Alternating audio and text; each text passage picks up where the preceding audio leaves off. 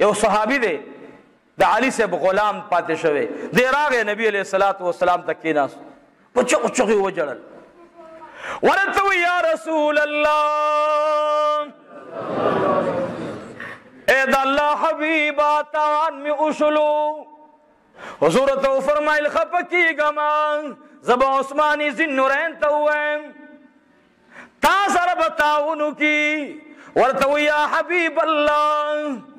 دومره تاوان مې شوی دی که د تمام جهان خزانې ما ته راشي زما تاوان نه پوره کیږي حضور ته فرمایل دا څومره لوی تاوان دی دی ورته په جړا شو الله اکبر الله اکبر د الله جل جلاله وعم نواله ولا اله غیره د دین د پاره د دین د اشاعت د پاره او د خریدو د پاره یو واسع او کلاو ذهن ته ضرورت وي محدود نظر کې خلق راګیرول ګران وي او زمون خپل نبی جناب رسول الله صلی الله علیه وسلم دنیا کې اول د نبوت کې د دین خلق ته پدا سه نقشه باندې پیش کړو چې کزه تاسو تاغه واقعات ویم نو دلته وایې به چې دا واقعه خو مخکې تېره شوې وه او دا واقعه خو پکې تا نه وه بیان کړې نو زه په هره جمعه دا خبره کوم چې یاره دا نن چې ما څه وویل دا زما د ناقص ذهن د معلوماتو یوه حصه وه ورنه مکمل تاریخ او مکمل سیرت نه وي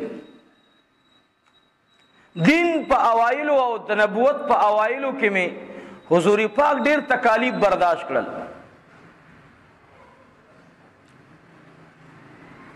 د حضور علیه الصلاۃ والسلام د ترزوی ابي جعفر رضی الله تعالی عنه دا د علي سے برور دی او د ابو طالب سے زوی دی حضرت علی رضی الله تعالی عنہ د ایمان راوړو نه بعد د علي سه برور لاړو خپل ورور ته وی چې ورور ذاته د حضور پاک په دې څنګه کې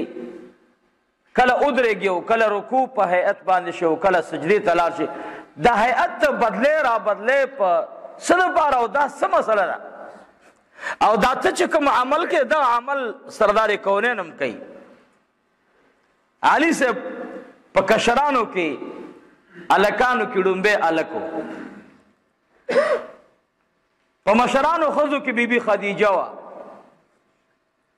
د حضور پاک نه په عمر کې دوه کال کم حضرت سیدنا ابوبکر صدیق رضی الله تعالی عنه اته درش کلنې کې ایمان راوړې او په جنکو کې حضرت بیبي عائشه رضی الله تعالی عنها ټول وای رضی الله تعالی عنها دې مبارک مور زمون ایمان راوړو نو د علي صاحب د ایمان نه بعد د علي صاحب ورور علي صاحب ته وی چرور داته کم یو عمل کې دا اودرېږي کینه بیا اودرېږي بیا سر پس مکه اولګي دا سدي او ورته وروره دا خو د حضور پاک د یو خولي دین نقشه راوړې ده په یو خولي دین باندې الله رب العالمین مونږ ته را لېږل دي او مونږ ته دغه نبی صلی الله علیه وسلم د الله د وحدانیت او د ربوبیت او د الله د خالقیت خبره کوي مونږ یو الله تعالی بلی دی یو الله د ربوبیت خبره راته کوي نو هغه ورته وی چې ولې دا زمونږ د نیکونو د دین د نقشې نه خلاف نقشه نه ده او ته نه زمونږ د پلرونو او د نیکونو هډل خسته دینو زمونږ پلرونو او نیکونو دا غي دین نقشه پرې خو ده ولی چې زمونږ د دین نقشه کوم په تله وې زمونږ د مشران نو ابراهیم علیه الصلاۃ والسلام خلیل الله علیه الصلاۃ والسلام خو زمونږ نیکونو د خپل نیکه نقشه پرې خودله نو د خدای په ځای باندې بوتانو ته سجدي شروع کړې او ورته وی وروره دا ستاسو کار خو مې ډېر خوښ شو که داسې وي خو دا خو ډېره روغه خبره ده ولې دا پیغمبر سوی دا نبی پاک صلی الله علیه وسلم دې د دې مختلفو خدایانو متعلق څه نظر دی او ورته وي د ادي او دادا زویا د دې مختلفو خلقو ارا مختلف دي چا د ځان د پاره د طبي یو خدای جو ګرځولې چا د زیړی د پاره بل خدای ګرځولې چا د دانو ننکو د پاره بل خدای ګرځولې چا د باران د پاره بل خدای ګرځولې چا چې کوم د شین اسمان د پاره بل خدای ګرځولې چا د امراضو د شفا د پاره بل خدای ګرځولې چا د بچو د ورکولو لپاره بل خدای ګرځولې لیکن وروره د دې ټولو مخلوق خالق او رب یو الله دی جل جلاله د یو رب نه ما سوا بل رب نشتا خو څوک چې زمونږ د مشران په خطا کې پراته دي او ورته وی ښا حضور پاک تراغه د علي سه برورم ډیرو خيار حضور پاک ته وي ما ته ډېر محبوب ډېر زیات را تګرانی حضور پاک مو ته فرمایل ډېر خلا د ترزو یې ما تم ډېر ګران او محبوبین یو څنګه به محبوبین نه راته دا خبر قبل خبر راغلا دام کوم درته ان شاء الله بیا ګران براته نه ولی براته ګران نه تر زامنو علي صاحب ته نبی علیه السلام یو ځلې وایي چې کور کې څه شته چې د خپل خاندان ته روټۍ وکړو طعام دعوت ورته ورکړو بعضې وروڼه هغې ته اکرام وایي و اکرام وکړو که نه ښه استلال حضور پاک مو ته فرمایل چې اکرام به وکړو د دې خلقو او کدا خلق الله رب العزت دیني صحیحه تراول موږ به ورته دعوت ورکو خو علي سب کور کې سشتا او ورته وی فداك ابي وامي يا رسول الله زما مور او پلار دي تا نه قربان شي کور کې زمونږ د پاره درې نیم سیره اوربشي پرتې دي بیا مې ورته حضور پاک فرمایل نور سشتا ترکاری کنا وېستانه مې مور پلار قربان شه د چيلي یو لاس پروت دی حضور ورته وفرمایل بل څه شته که نه؟ وایي پۍ پرتې دي خو هغه هم ډېرې کمې دي یو پیاله عمره دي حضور ورته وفرمایل اے علي شیر خدا رب العالمین کله کله لک شیان ډیرای تداغین یو کیلو وړو هغه کا یو کیلو ړی تینا واخل حضور پاک می راغی بی بی خدیجه ته او فرمایل اے خدیجه دوړو خانک ما تران از دی کا حضور علیہ الصلات والسلام مبارک می پکی ګوت مبارک کی خدا ورته اے خدیجه وړ دی واغګه خدیجه رضی الله تعالی عنها وړ واخل د زنانو چې کومه طریقې کار دی بی بی خدیجه فرمایي ما ته حضور علی السلام فرمایل اے خدیجه دی لوخي کې پریدا د زنانو عام دستور داوی چې په یو لوخي کې وړ واغږي به بلکې کې دی محفوظ کی ما ته ولوم دی کې پریدا دا غټ لوخه د وړو خانک غټ وي او د ساتلو بیا هغه لوښی وړوکی وي موږ تاسو پښتانه ورته قلفي وي او یا ورته بل چار څخه خپل اصطلاح وي و ډیره خلا حضور پاک می لاړو بیبي خدیجه ته و فرمایل زه علي صاحب لګم بیګا تا ده سلويختو کسانو تنظیم برابر کا خدیجه الکبرا رضی الله تعالی عنها ډېره د زکاوت نه ډکه ښځه وه ام ایمن ته به تپوس کوي اے خدیجه تا تپوس ولې ونه کړلو اے خدیجه تا تپوس ولې ونه کړو دا خو لګړ دی د 40 کسانو تنظیم دین کیږي نه تا به تپوس کړې وې بی بی خدیجه او فرمایل والله ام ایمنا زما دی پرب ذل جلال قسم وی دا خو 40 کسان حضور علی السلام را دعوت کړل او کدا 40 هزار کسان مراشی رب العالمین مداوړه نه ختمه مینه سره جواب راکړي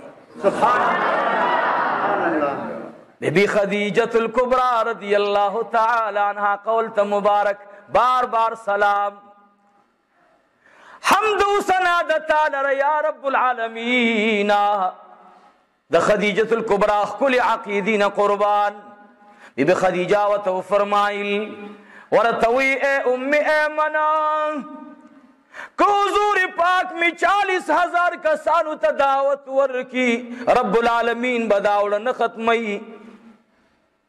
ولی ام ایمن ته بیبي خدیجه الکبرى په جړا شو ملمانه به تلیو ښا دا منس کدا خبره وکړه ام ایمن ورته وی اے خدیجه تا دومره کله قسم په سبا باندې وکړو ورته وی اے ام ایمن کله چې ما وړ اخکل حضور پاک می تشریف آوری وکړلا حضور پاک می پوړو کې ګوته مبارک کې خدلا زما دا یقین جوړ شو چې رب العالمین بدی کې دومره برکت واچي چې الله رب العزت با دا وړ ټول ملمنون اذا پک دا زما یقین راغې هغه په ګوته مبارک کې خدلا او د حضور ګوته مبارکه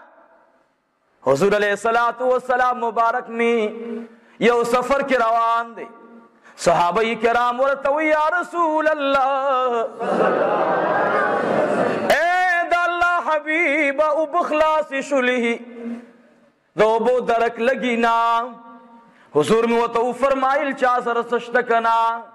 علي صاحب راغی وی یا رسول الله زما بتک دی وی دې کې اوبه شته که نه وی ای د الله حبیبه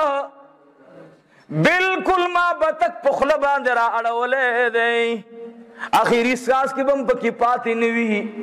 حضور ورته وفرمایل بتک ته رانږدې که د علي صاحب بتک مبارک یې واغستلو د دو کونو سردار می ګوتې مبارک باندې را کوکو بیا یې دا ګوته مبارکه د بتک خولې ته ونیوله والله العظیم داسې اوبه د ګوتې مبارکې نه روانې شولې علي صاحب فرمایي زما د بتک نه علاوه یو اویا اکتر بتکونه الله رب العالمین د دغه ګوتې مبارکې د اوبو نه ډک کړل د حضور پاک ګوته خو ګوته مبارکه وه هغه څه عام ګوته نه ده حضور پاک صلی الله علیه وسلم متعلق ما یو خبره کړې وه بي بي حليمه سعديه فرمايي چې ما به کله هم د خپل معصوم بچي د پاکولو او د دې لپاره د جوړې د بدلولو اراده وکړه هر یوه زنانه د بچي بی بی حلیمه قسم خوري چې زما دي پرب د کعبه او پرب د محمد رسول الله قسم وی کما د حضور پاک قضای حاجت پستر ګلی دلې او نه مې حضور پاک ته چې کله د عامو ماشومانو د پاکېدو اراده مور کوي ما کله هم داسې اراده کړې ده نو چې زه حضور پاک ته راغلی یم هغه الله رب العالمین په داسې انداز پاک او ستره کړی او عالیشانه خوشبویي ترې نه روانوي چې بلکل هسې خوشبویي د بلې ورځ نه هغه مختلفه وي عزیزانو زمون حضور پاک خپل پیغمبر علیه الصلاۃ والسلام د شان نه قربان شم عزیزا خبره مې د حضور پاک د ګوتې مبارکې پورې وکړه راځم خپل موضوع ته حضور پاک صلی الله علیه وسلم روټه وکړه ورته وای ټول راجا مکړل 40 کسان رالل علي صاحب روټه ورته وای ته روټه کېدا روټۍ انتظام برابروه ما درته کله اشاره وکړه بیا به روټۍ راوړې طعام چې دوی روټۍ وخوري حضور پاک کې عادت مبارک داو چې کله به مجلس کې ناستو نو حضور پاک به په شور کې خبره نه کوله حضور پاک به ټول خلق چې ارجا به خپل خبرې وکړلې نو داغه نه باک بعد به بیا حضور علیه الصلاۃ والسلام خپل مقصد او غایه بیانوله ابي لهب ډیر چالاک او خطرناک انسان و هغه علي صاحب نه تپوس کو چې موږ حضور پاک څه تر راوغوښتو اور ته وی چې کاکا حضور علیه الصلاۃ والسلام خو یو مقصد او یو غرض دی ابي لهب چې کې ناس صاحب اوهو نمبر بچا تا ور کوي یو ته خلوا چوا بل ته خلوا چوا 40 کسانو سره هر یو سره لګې ده ان تر دې چې د حضور علیه الصلاۃ والسلام خله مبارک به چې خبره ته جوړېدله ابي لهب بل خبره شروع کړه د دې ورځې مجلس خلاص شروع ټي او خلل شو ملمانه لاړل ابي لهب اخیری انسان هغه هم لاړ ووتل علي صاحب وایي ما ته ډېره غوسه راغله چې ای بدبخته انسانه مونږ په دې غریبۍ او فقیرۍ کې ما خپل یو کیلو وړه او حضور علیه الصلاۃ والسلام څومره د مینې او محبت اکرام ستاسو وکړو بدبخته تا نمبر ورنکو وایي ای علي مه خفه کېږه سبا به بیا راوغواړو. سبا یې چالیس کسان بیا راوغوښتل. ابي لهب پکې بیا راغی مخکې کښېناست. دې وجې نه عزیزانو چې کله هم چا مجلس ته غوښتلی د مجلس د آدابو ډېر لحاظ ساتئ. خاص کر یو ځای ته لاړې نو کوشش دا کوه چې د ډېرو خلکو واورې خپله بنده وساته. تاسو دا وړه زموږ طالبان رونه وای په دې وړو وړو رسالو کې چې چا څومره سکوت وکړو هغه مر ورته خیر ملاو شي ځکه اورېدو کې ډېر خیر وي او ویلو کې به هم ته بلګینو چې تاسو رسو هغه بخلاشي او د بل چانه بوانه وري او علم خو په اورېدو کې حاصلېږي علي صاحب وي دویمه ورځ شو دویمه ورځ باندې میلمانه راغلل ومنګه اکرام برابر کو روټه برابر کړه ما ته حضور پاکو فرمایل اے علی تو عام روړا ما تو عام روړلو ما سره زما رورم تو عام برابر کو کله چې روټۍ خلاصه شول ابي لهب به یې شروع وکړله ما د حضور علیه صلات و سلام مخ مبارک ته لیدل د حضور علیه صلات و سلام په مخ مبارک باندې غم او خفګان راغې بالکل مجلس ټیم خلاص شولو ملمانه تنگ شو نبی علیہ الصلوۃ والسلام ته پته ولګیدلا چې ملمانه نور تنگ دي حضور علیہ السلام ته فرمایل وې زمون مجلس خلاص شو هر یو چاته اجازه ته چې څوک مخازي لار شي دریم ورځ رااله علی سے بوئی زما اخیری وړ دی ما د کور نه راوړل ما ویل یا رسول الله یا حبیب الله دا اخیری وړ دي او یو پیله پې را سره پاتې وي خدا الله حبیب دغه پې پاتې دي حضور علیہ الصلات والسلام مبارک می میمان را غختل علی سبوی زما زړه کې داراغ لا چې کل ابي لاب خبري شروع کی زبې خوا تراشم زبورتم چې بس ته نور خبره مکوا لیکن ابی لهب زما اشاره تم نه لیدل حضور علیه الصلاۃ والسلام مبارک با کلا بی لهب ته مخ راواړو کله به ملمنو ته ولیدل او ابي لهب داسې چرې دلو داسې بار بار خبرې کولې ابو طالب صاحب د علي صاحب پلار دی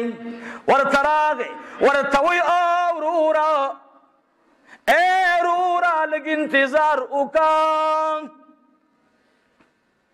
ته د څه دپاره راغلې دا نن ستا درېیمه ورځ ده ستا خبرې خلاصېږي نه دا ابي لهب درس درې صفات خدای دې موږ او تاسو د هغې نه وساتي یو ابي لهب کې دا صفتو کنزلمار انسان کنزلې به یې کولې دویم صفت داو چې ډیر مغرور انسان تکبر کې بروان دریم صفت داو چې هر مجلس کې به ځان مشر مشر کولو او د نبی علیہ الصلات والسلام انتهایی مخالف ورته لګ انتظار وک بس ته کنه بس ابي لهب وي څه چل وای کنه نبی علیہ الصلوۃ والسلام ته ډېر بیا د الفاظ باندې وای سدي اے محمد ابن عبد الله څه چل له اور تو وی کاکا یا ایها الناس اے خلق اے ملمنو اے زما خاندانا ما تاسو ته دین راوړې دی یو نقشه مې راوړې ده هغه نقشه مې راوړې ده چې ابراهیم خلیل الله تاسو له پیش کړی و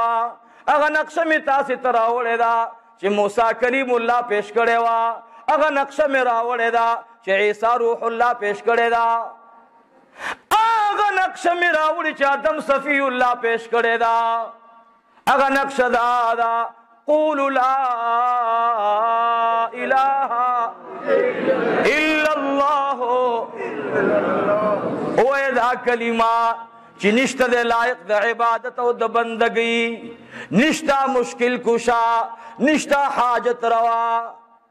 نشته رزق ورکوونکې نشتا مرګ راوستونکې نشتا انسان ته صحت راوستونکې الا الله مگر یو الله دی د دغه الله خبر درته کوم ابي لهب ظالم پاسیدو ورته وی تعالی شي نعوذ بالله من ذالک ایا تا موږ داسې خبرې تراجم کړلو چې ته موږ د خپل دین نه اړې ابي لهب د دې خیره سره جبرائیل علیه الصلاۃ والسلام می د سردار کورن دربار ترازی ورته اے دا الله حبیبا رب العالمین تمام ملائکه د رب العالمین د اسمان او د سمندر تمام مخلوق او خپل الله رب العزت ابي لهب ته خیرا وکړلا ستا جواب ستا مقابل کې جواب رب العالمین پرشتو او په سمندر کې کبانو او په هوا کې مرغانو ټولو جواب ورکو ستا په جواب کې کته چپ پاتې شوې نو ټولو کائنات ستا په بدله کې ابي لهب ته خیرا وکړه ابي لهب چې دا خبره وکړي څادر ته سند ورکو په ډېر متکبرانه انداز اوچت شو ابي لهب روان شو نبی علیہ الصلات والسلام ټول مجلس ختم شو چت شو درې ورځې بعد سم پلاس را نغلل لکه یو ښکاری ښکار کوي کنه تاسو دا هر سړی خپل طبیعت وی ښکار تلار شي دا می اچولې او د ډیر امید په دروازه باندې داخل شي دغه د مرغه راغی ا قریب دی چې اوس به اون خلی او بیا دی ورشي جال تا او د سوچ داوی چې زما ښکار کامیاب دی او لاړ شي ښکار اوسنډي اس لاس تر نشي نو کله انسان وړوکه مرز نیول باندې هغه ته خفقان ملاويږي چې ملاو نشي د حضور پاک صلی الله علیه وسلم په امت باندې څومره حریص دی چې الله دا جنت والا جوړ کړي حضور علیه الصلاۃ والسلام درې ورځې بعد خکار جال تش راغې نبی علیه الصلاۃ والسلام په خپل ځای باندې ناس ابي لهب وډل لاړه حضور علیه الصلاۃ والسلام ته جړا رااله حضور علیه الصلاۃ والسلام وجړل علي صاحب یو طرف ته زناست ما مخې ته مې پلار راغی ورته وې اے وراره جانا پتا باندې ډیر تکلیف راغی ته خو ډیر خپه شوې اے وراره جانا خپکیږه ما ارته وی تر خپه کیګم به ولی نه درې ورځې می انتظار وکړلو د دې بدبخت انسان د لاس ما خپل خبره اون کړې شو حضور علیہ الصلات والسلام می خپو مایوس دی جعفر رضی الله تعالی عنہ د حضور علیہ الصلات والسلام د ترزوی د علی سبرور مخصوصن راغه پلار ته وی اے بابا جانا زه ایمان روړم مال اجازه راکا پلار وته فرمایل بچی ډېر خدا زما حضور پاک سره مینا دا ما ته نبی علیہ الصلات والسلام ډېر ګران دی بالکل بچی ایمان روړا ځکه علی سے فرمایي ما چې ایمان روړلو پلار زما طبیعت ترشو ما چې ایمان راوړو د پلار طبیعت مې لږ ترشو ذهن تندې کې هغه آثار د خفګان معلومېدل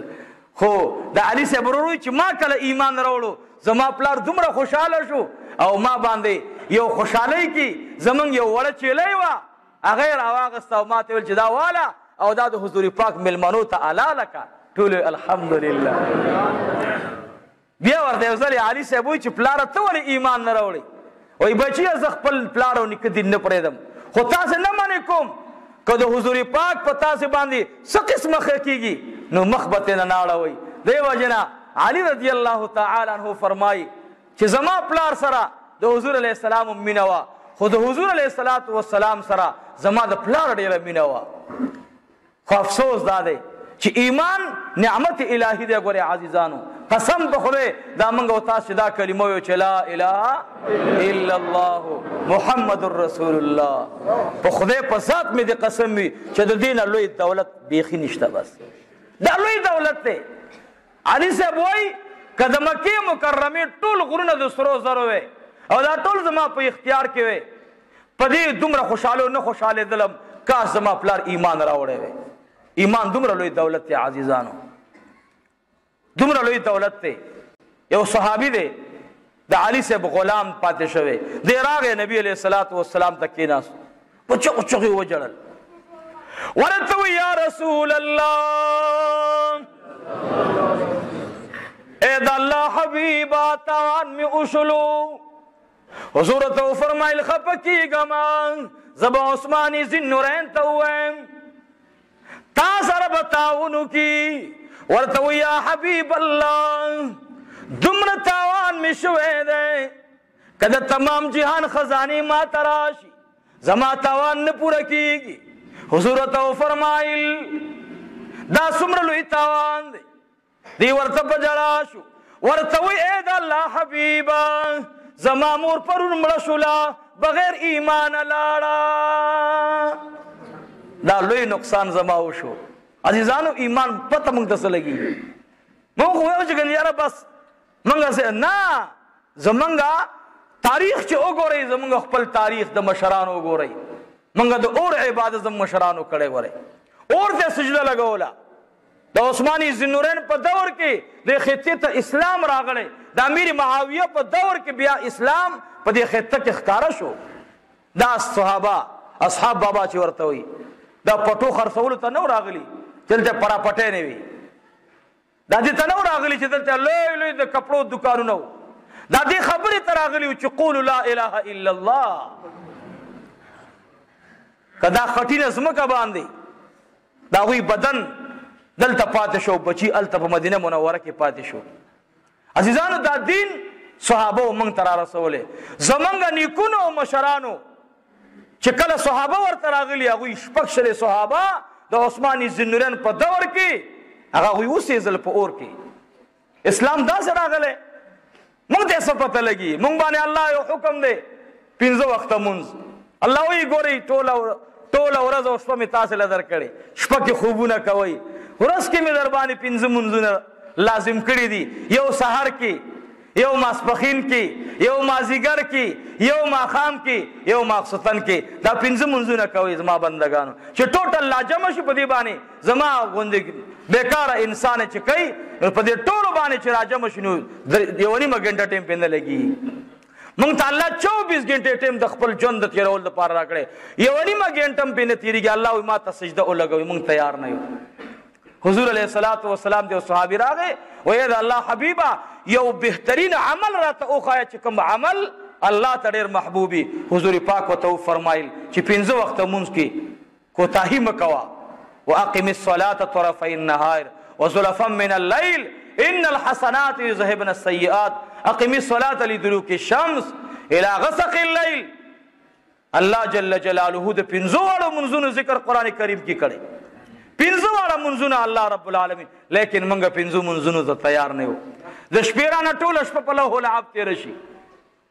صیب دا لوی غضب خو یو بل له اوس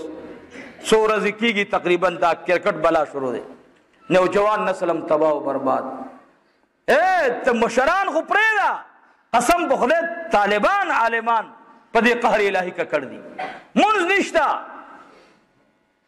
چا وګټو چا وګټو چا بیلو چا وګټو یو بچی دی ستا کور کې کپڑے ورته کې کچا درته ویل چې الکه د اختر روز ده او د پلان کې رور د بچی دی جامې ګورې ډېره مزیدار کپڑے واغستله تب د هغې د زیب او زینت لپاره ځمکه خرڅه خو د بچی زیب او زینت برابرې صحیح شو او دغه بچی سه به یو مونږ قضا کی تعالی پته شته امام غزالی رحمت الله علیه قول را نقل کړی د حدیث په شرح کې لري کې فرمایي چې اتیا زره کال د دنیا په حساب باندې به جهنم کې غوټه خوري یو سکند ته خپل بچي په اور کې ودرې اتیا زره کال بیا ستاده ګلاله او خپل مزیدار بچي به جهنم کې پروت یو منس قضا کې او بیا قضا هم را وګرځي نبی علیه الصلاۃ والسلام د صحابي راغی و یا رسول الله بهترین عمل راته اوخه چې الله ته ډیر محبوبي دا غینه الله ته بل محبوب عمل نه حضور او فرمایل چې پنځه وخت مونږ د الله رب العزت کوا او به ورته فرمایل تعالی پته نشتا وینا عثمان ذنورین فرمای د هغه یو غلام دی، هغه غلام فرمایي چې زه رالم او عثمان ذوالنورین ته مې اوبه راوړې د اودس لپاره. عثمان ذوالنورین ډېر ښکلي انداز سره اوبو باندې اودس وکړو او د اوبو طول څومره و؟ خپله هغه غلام وایي چې درې پاوه اوبه وي تقریبا. په تول باندې دا اوبه څومره وي درې پاوه اوبه وي ما دا درې پاوه اوبه راوړې او عثمان ذنورین رضی الله تعالی عنه لګیو په دې باندې لومبه خلی ته اوبه واچولې مسواک ووهلو بیا د مسواک مبارک نه بعد عثماني ذنورین پوز مبارک ته وبو واچول بیا پوز مبارک نه بعد عثماني ذنورین په مخ مبارک باندې وبو واچول او د ګيري مبارک په دې کې ګوتې مبارکې ووهلې ما ټول دا او دس نقشه وکتله او داسې ما کله زیر زیر باندې عثماني زنورین ته نه وکتلې او عثماني زنورین کلم داسې په او دس کې ما ته د سترګو لاندې نه وکتل لکه نه چې قتل چې دې څنګه ما ته ولاړ دا غلام وي او داسې وکړو هغه اوبو کې لګي اوبه پاتې شوې د دې نه بعد عثمان زنورن چې کله ودرېدو نو قبله ته مخ کو او سوي اشهد الله اله الا الله وحده لا شريك له وأشهد أن محمدا عبده ورسوله اللهم اجعل لي من التوابين واجعل لي من المتطهرين قال إيش دا دعا الوسطى استامات او مائل اے زمان ملگریہ ته راځه ما ته ګوره ما عثماني ذنورین ته لیدل عثماني ذنورین ډیر خان د عصر مون ادا کو به راته و فرمایل دا د کوم وخت ټیم دی ما ورته و فرمایل اے عثماني ذنورینا اے د حضور پاک زم مبارکا دا د ماسپخین مونږ دی ماته وفرمایل اے زما ملګریا په دغه انداز باندې چې سرنګ ما درته او د سکو زما دی پرب د کعبه قسم وی زما دی پرب د جناب محمد رسول الله قسم وی چې حضور علیه الصلاۃ والسلام دغه رنگ او د سکللو حضور علیه الصلاۃ والسلام دغه رنګ اودس کولو نه بعد بیا منځ وکړلو بیا د منځ کولو نه بعد ما ته حضور فرمایل اے عثمان ابن عفان کچا په دغه انداز باندې منځ او دس وکړلو دا او دس نه بعد داسې به منځ ادا کو نو زما رب العالمین با چې د سحر نه کوم ګناهونه کړی الله به ورته د ماسپښین په مونځ باندې معاف کی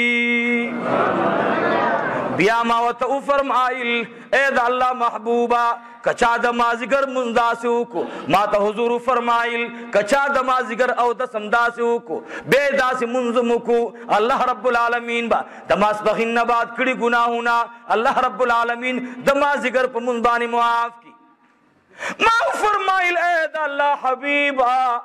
که چا د ماښام اودس داسې وکړو، ما ته حضور وفرمایل، رب العالمین به ورته د مازیګر نه د ماښامه پورې کړي ګناهونه معاف کړي. ما ورته وفرمایل، که چا د ماخوستن اودس داسې وکړو، حضور ما ته وفرمایل، د ماښام نه بعد چې د ماخوستنه پورې کوم ګناهونه شوي، الله رب العزت به یې ورته معاف کړي.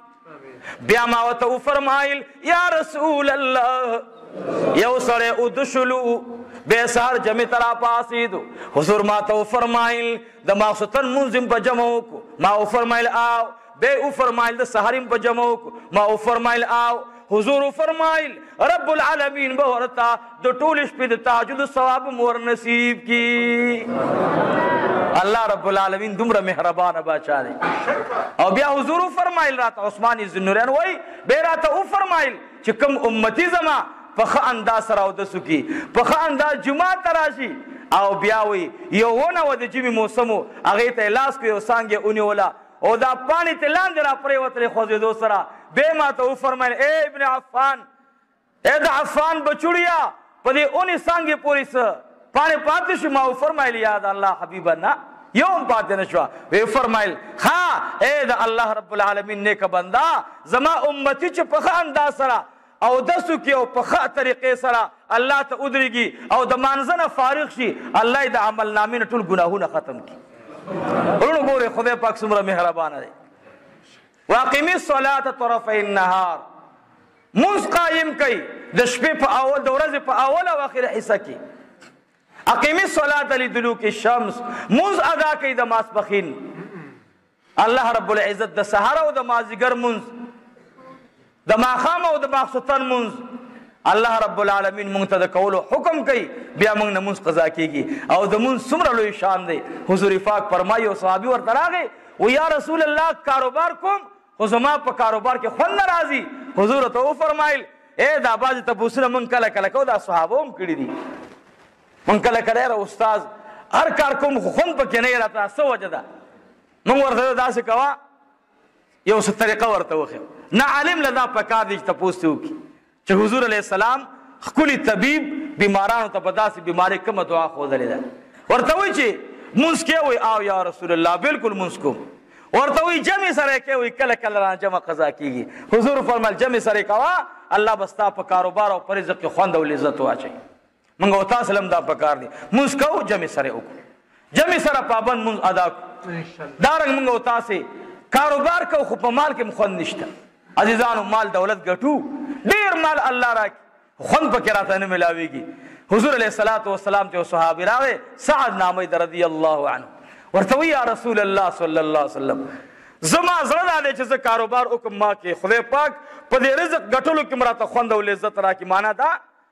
یو قبول شوی عبادت غونده کې عمل وکم ساعت توي یا ساده که خپل مال کې برکت اچول غواړي خوند او لذت پکې اچول غواړي زه ته اسانه علاج نه خیم و یا رسول الله راته وخایا و ساده و او کچې ته د خپل مال نه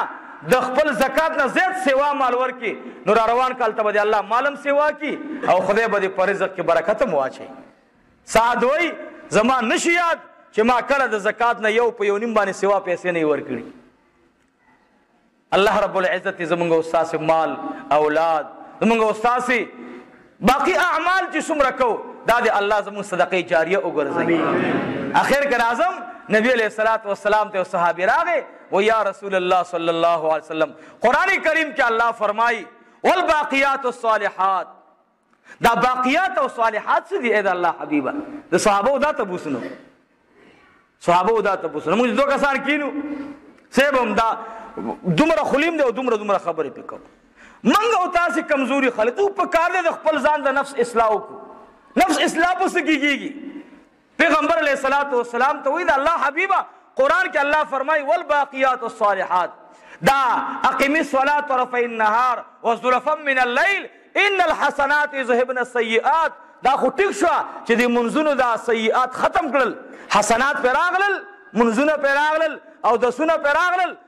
سیئات یې ختم کړل معنا ګناهونه ختم کړل خو وروسته الله یو ځای کې فرمایي چې والباقیات الصالحات خیر عند ربک ثوابا وخیر عملا دینه سم مراد دي حضور پاک مو ته فرمایل اے دا الله بندا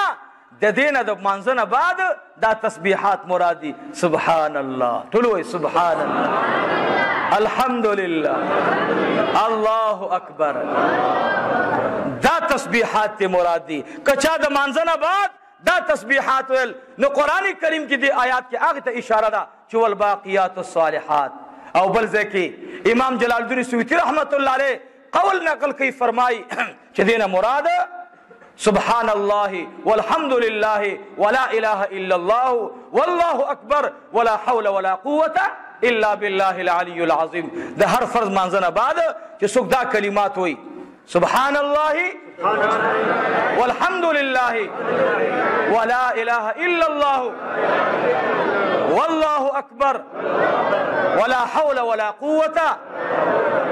الا بالله العلی العظیم چې څوک دا کلمات وای دا باقیات الصالحات شو کله چې ستاد عمل نامې پیشي الله ته وشي نو ستاب د فرض منځونو خبره خو دې کې لاړ شي چې څه ګناهونه دې کړو پاغه کې لاړل هغه بدل شو خو اوس ته باقیات خزانه کې نور مال ګورې نو خدای پاک به پرشتو ته وایي را وباسي د دې هغه اعمال حسنات حسنات کم اعمال دي رونو دا تسبیحات برا وباسي نو ان شاء الله العزیز منځنه بعد با آیت الکرسی او ان شاء الله ویو بکنه بیا به دا غینه بعد دا سبحان الله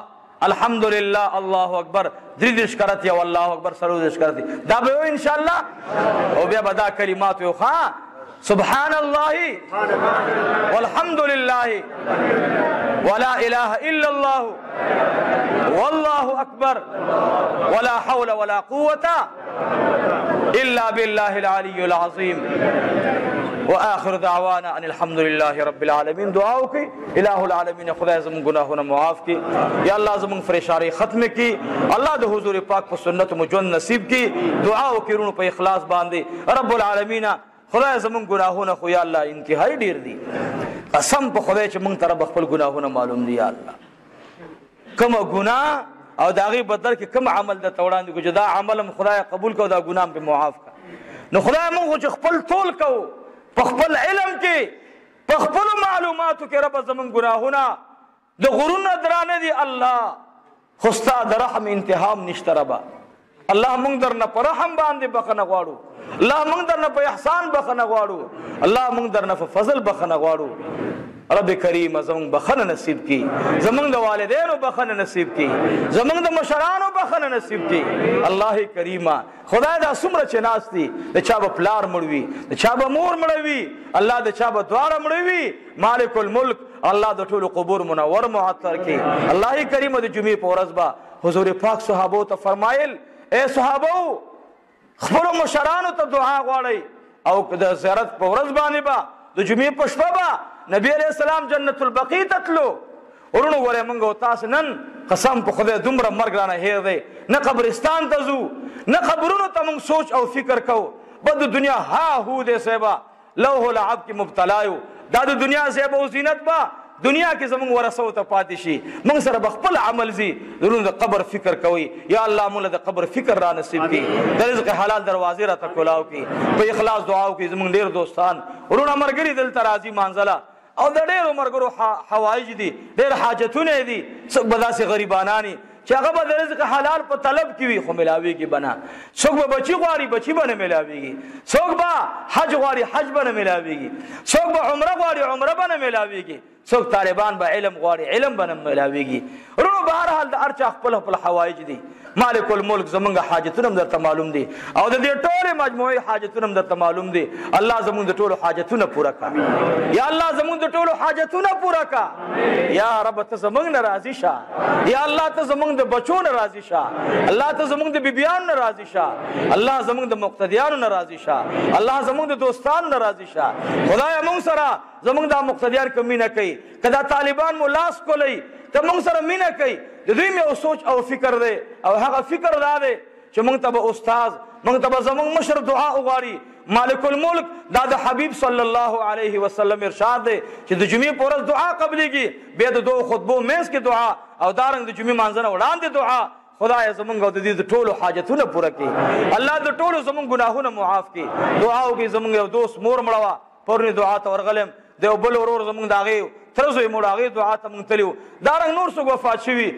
دعا ورته وغواړي رب العالمین خدای د ټولو قبور منور معطر کی خدای دې مدرسې سره څوک تعاون کوي څه قسمه تعاون کوي یا الله تا ته علم دی چا څه قسمه وس کیږي الله د ټولو په ژوند کې کاروبار کې علم کې اولاد کې خیر او برکت واچي یو مرګ راته پرون موبایل کړو خصوصي دعای غوښته وا الله کریم د نو سود پاره د خپل ځوان د ژوند لپاره الله کریم صالح اولاد ور نصیب کړي خدای استاد حبیب ارشاد دی چې مسلمان ته د مسلمان په غایب کې دعا قبليږي خدای چا چې څه قسمه دعاګانې غوښتي او دلته حاضر دي یا غایب دي الله د ټولو دعاګانې قبول او منزور کړي اخر وخت مداکل مناسب لا اله الا الله محمد رسول الله